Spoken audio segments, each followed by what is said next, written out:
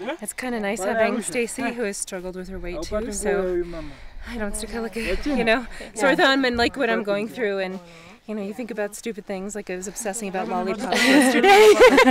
and you kind of get that. Yeah. well, we're also kind of the same pace. I mean, so I know I'm not going to be like left back or anything. You know. I won't leave you behind. No. Oops, I guess we lost the group. Whoops.